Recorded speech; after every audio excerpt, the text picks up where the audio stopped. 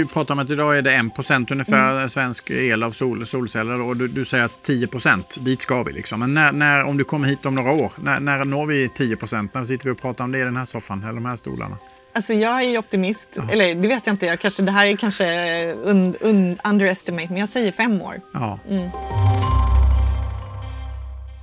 Hej på er och varmt välkomna till Railers Play. Idag ska vi prata om solenergi, för vi står ju mitt uppe i en gigantisk energiomställning samtidigt som vi kommer behöva mer el än någonsin om vi ska klara av att bygga upp laddinfrastruktur för fordon och om en industrin ska få sin el. Och I det perspektivet känns det ju en aning märkligt att bara runt 1 av den svenska elen kommer från solenergin. Men kanske så är det ordentliga genombrottet här nu.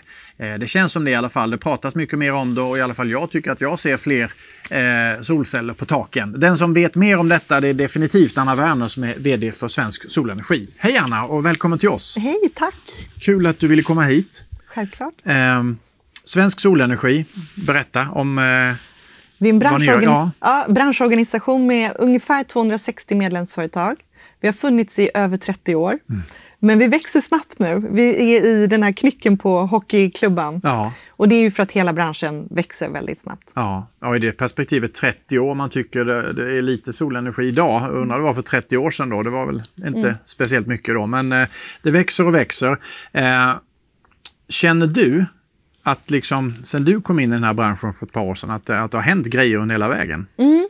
Jag blev vd för nästan två år sedan mm. och eh, efter det har det vuxit med ungefär 50 procent båda åren. Så att, eh, det är en stor förändring, det går väldigt fort. Eh, men det visste vi att det skulle göra. Mm. Det är en underliggande väldigt positiv trend. Det är det kraftslag som växer snabbast i hela världen. Så att, ingen är förvånad över att det går fort. Men det Nej. går fort, det stämmer. Ja. Och trots det så är det runt, vad var det vi sa, en procent ungefär utav, av, av elen i Sverige mm. är, är, eh, står solen för så att säga. Jämfört med Tyskland på runt 10 procent tror jag. Ja. Eh, alltså vad är det som gör att Sverige fortfarande ligger efter? Ja, vi är långt? ju inte först på den här resan. Nej. Eh, nej, men det, har, det är ju politisk styrning och vilja. Eh, det behövs eh, uttalad tro på det här kraftslaget och där behövs också väldigt mycket regelförändringar, alltså lagar och föreskrifter. Mm. Det handlar om att det mesta som vi har idag vad gäller lagar och förordningar är ju gjorda i en gammal värld med de gamla kraftslagen. Mm. Och det passar inte alltid för det nya kraftslaget. Så att det behövs en hel del förändringar för att solkraft ska kunna då, eh, kämpa på lika villkor. Mm. Så vi, vi, vi, vi, är kvar i våra gamla skyttevärn så att säga. Vi har inte tagit oss upp där. Nej, nej, nej, jag menar inte att det är skyttevärn. menar jag inte att det är. Utan jag menar att det är väldigt mycket som idag, så det blir såna här absurda konsekvenser. Ja. Du skaffar, bostadsrättsföreningen skaffar solceller och hamnar i någon stor administrationssnurra mm. eller Eh, de andra kraftslagen till exempel kan du ju inte, du kan inte, kan, du kan inte producera den kraften där du behöver den i byggnaden på dagen i södra Sverige. Nej. Eh, men det kan du med solkraft och då måste du liksom försöka styra kraften dit där den behövs. Men det, det finns inget sånt. Så vi tar det här med eh, skatt på egenanvänd el, vilket är helt absurt. Att du ska, mm. företag, om du har en stor anläggning, så måste du alltså betala energiskatt på den el som du själv producerar och använder. Det är ju inget problem så länge du inte använder din egen el, vilket du inte kan göra med de andra kraftslagen. Nej. Men när solkraften kommer in, där du faktiskt kan använda en stor del av elen själv, då blir det ju väldigt absurt att ha ja. en sån skatt. Det är som att du odlar morötter och för varje morot som du äter från din egen odling ska du betala skatt. Ja, och det låter ju helt galet. Ja. Men jag tänker så här, ni som intresseorganisation, ni måste ju driva bland annat den här frågan då. Vad mm. säger politikerna när, när, ni, när ni pratar om det här och absurditeten? Om, om, man lägger upp det på det här sättet så, så håller de, kanske många med om att det är absurt. Men samtidigt så behövs det skatt för att finansiera allting mm. i samhället. Och den här energiskatten på el som vi pratar just det här fallet om, det är ju någonting som är, eh, liksom, när den kom så var ju det en fiskal skatt, det var mm. för att få in medel till att finansiera välfärden. Idag blir den väldigt märklig, he hela elskatten, eftersom vi då, det finns så uttalat att vi ska elektrifiera transportsektorn mm. och många andra sektorer, fossilfritt eh, stål och allt möjligt mm. du pratar om. Eh, där, eh, det blir väldigt märkligt att lägga skatt då på det som ska vara liksom möjliggöraren, mm. nämligen el. Ja, nej, men definitivt. Jag håller verkligen med dig. Men du, du har ju också en spännande, du har en väldigt spännande bakgrund tycker jag för att du har jobbat inom teknikkonsultbranschen. Eh, och så var du då också eh, ansvarig för eh, energifrågor då eh, på, på Villägarnas riksförbund. Eh, idag tycker i alla fall jag, som jag sa inledningsvis, att det är ganska ja, van, hyfsat vanligt mm. ändå med solceller på, på villaägarnas tak. Mm. Men det skulle kunna bli så mycket vanligare så att säga. Och du var inne på det här med krångel och så vidare. Men, mm. men hur mycket kost, alltså är det en kostnadsfråga idag också? För villaägarna är det ja. ju extremt välordnat idag. Vi har ett grönt avdrag sedan årsskiftet. Så där, där pågår ju boomen. Den har pågått ett tag men den fortsätter nu. Eh, den får kraft av det här gröna avdraget mm. på en underliggande väldigt alltså positiv långsiktig trend. Mm. Eh, men jag skulle vilja säga andra så vanliga människor som bor i bostadsrätt eller hyresrätt, där, det är väl snarare de mm. taken som inte, eh, där det inte finns incitament för solkraft idag på det mm. sätt som det skulle kunna finnas om man rev lite hinder. Eh, för villägarna just, som, jag kommer ju därifrån, ja. eh, där, där är det ju så att de är väldigt privilegierade eftersom de klassas som mikroproducenter. Men, och då slipper man den här eh, skatten på ja. egenanvänd.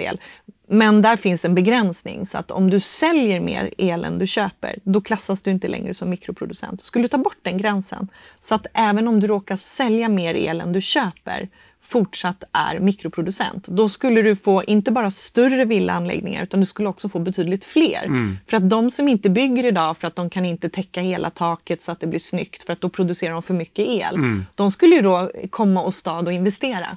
Ja. Så att den gränsen... Eh, ja, det känns som att det är en del liksom så här självklara knutar som bara borde så, lösas upp. Liksom. Absolut. Men du var inne på det själv, det här, det här nya skatteavdraget som infördes vid årsskiftet. Och det har jag också läst, det är ju en succé verkar det som. Hur, hur, hur stor succé är det? Vi, tittar på, vi får in föranmälningar från de tre stora elnätsföretagen. Alltså när du installerar solceller är det ytterst viktigt att du tidigt i processen meddela ditt elnätsföretag jag vill installera solceller så att de kan förbereda mm. nätet och se om det finns plats för mer kraftproduktion i kvarteret.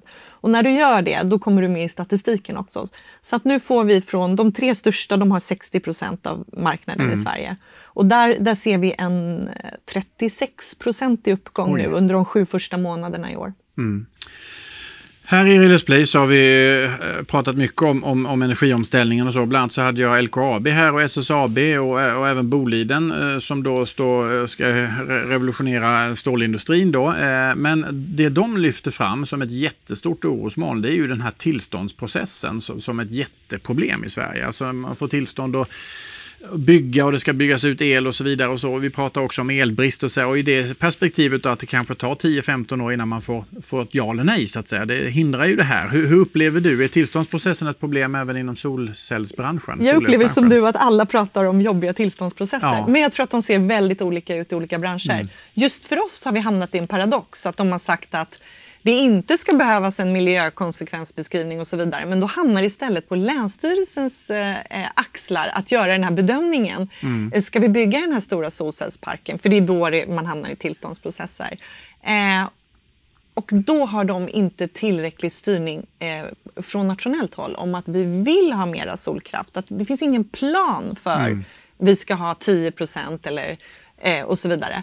Eh, vilket gör att då, då kolliderar det med andra intressen. Och då är det så i södra Sverige där de flesta, när man har försökt bygga stora parker och lämnat in ansökan om tillstånd, då är det i södra Sverige. Och där, det är väldigt bra jordbruksmark där. Mm. Så då kolliderar det med riksintresse för livsmedelsproduktion som är då geografiska områden. Eh, och där har vi inte en chans eh, med den situation vi har idag i Sverige med, med liksom låg försörjningsgrad på livsmedel. Mm.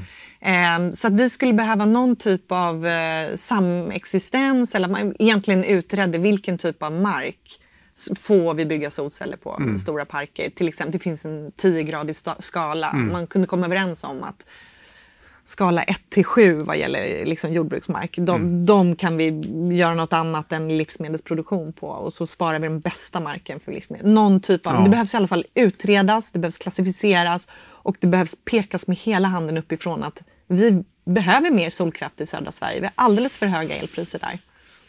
Och det är ju, jag tänker, Railers då, vi har varit inblandade i byggnationen av en av de största solcellsparkerna i Sverige, nämligen den utanför Strängnäs. Och det är ju mm. rätt mäktigt att åka förbi där när man ser de här så långt ögat når nästan. Mm. Men nästa steg, eller där det finns en väldigt stor tillväxtpotential som jag förstår det, det är ju alltså man tänker så här, alltså lagerlokaler, alltså logistiktak, alltså stora industritak och så vidare. Eh, där är ju exemplen för få. Där måste det ske en utbyggnation. Där finns det väl en väldig potential? Jag skulle säga att det finns potential i, på alla, alla ja. marknadssegmenten. Nog finns det plats för större parker. Vi har ju väldigt små parker i Sverige. Ja internationellt sett mm. extremt små. Men taken känns ju klockrena. Taken behöver utnyttjas. Ja. Det är klart vi ska använda varenda tak till solceller. Allt mm. annat är ju märkligt. Mm. Eh, ja. Men då tycker man ju att, jag läste någonstans att runt 55 000 byggnader skulle kunna användas, minst, i Sverige ja, idag. Det är det ju en enorm potential. Precis, det är en konsultrapport som finns ja. på vår hemsida där, där vi tittar på de här största byggnaderna. Och om man tog bort, eh, nu är det så att upp till 500 kilowatt, då slipper du betala den här skatten på eh, egenanvänd el. Men därutöver så betalar du skatt, vilket gör då att hela business-caset faller för de allra största byggnaderna. Mm. Och där, där finns det en otrolig potential. Mm. Det känns som att, att att eh, sol, solelen är liksom inlåst i olika liksom krångliga, det kan vara skatteregler, det kan vara tillstånd och så vidare som gör att det hindras väldigt mycket. Ja, så i alla fall det, min hobbyanalys. Det är inget konstigt. Vi Nej. kommer till en, liksom, världen ser ut som den gör, det kommer ett nytt kraftslag och de måste mötas någonstans. Ja, men det måste ju eh. gå snabbt också, herregud, eller hur? Vi ska ju göra en energiomställning här. Ja, men det går snabbt nu. Ja. Eh, men det är vissa saker som behöver gå ännu fortare.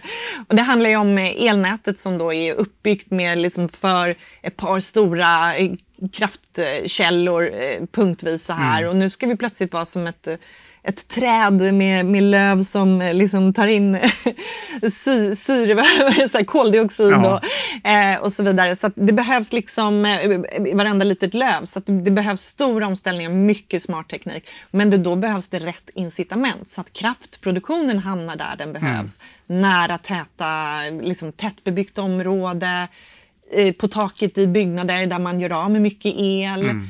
och så vidare. Så, att, så man liksom, det behövs Mm, våga styra elproduktionen mm. dit den behövs. Du sa ju, eller vi pratade om att idag är det 1 ungefär mm. svensk el av sol, solceller och du, du, säger att 10 dit ska vi. Liksom. Men när, när, om du kommer hit om några år, när, när når vi 10% När sitter vi och pratar om det i den här soffan eller de här stolarna? Alltså jag är optimist, Aha. eller det vet jag inte, jag kanske, det här är kanske un, un, underestimate, men jag säger fem år. Ja. Mm. All right, då är du välkommen hit 2026 då, ja. säger vi det. Ja. ja. Men du, innan vi stänger butiken för idag. Vi är ju ett, ett, eh, teknikkonsultbolag, mm. Railers, och vi har en vision om att vara Home of the Learning Minds. Vi mm. verkligen vill lära oss så mycket som möjligt. Mm. Vad vill du skicka med oss? Oj, folk lyssnar på teknikkonsulter, mm. så ni har en viktig roll. Eh, speciellt i tidiga, eh, även vid ombyggnation och sådär. Det är man, eh, det är billigare att göra rätt från början. Mm. så att eh, se till att berätta det för era kunder att mm. det är bättre att ta den här extra konsulttimman och se till att man eh, bygger rätt och projekterar riktigt. Eh, till exempel solceller är ett väldigt bra exempel. Mm. Att det är mm. väldigt dumt att lägga om taket och sen komma på att man vill ha solceller. Utan det ska göras i samband såklart mm. med att man lägger om taket. Mm. Eller att man bygger nytt. Vi har en roll att spela helt enkelt. Det har ni absolut. Ja. Och det har du också Anna. Tack snälla för att du kom hit. Eh, Anna Werner för Svensk eh, Solenergi. Och eh, vi får se om vi ses då 2026 och i så fall hur mycket, eh, om det är 10 procent vi har nått upp till eller inte. Det kommer vi göra. Ja, tack snälla tack. för att du kom hit. Och tack för att ni tittade och håll utkik. Snart kommer det en ny intervju på Raiders Play. Hej då.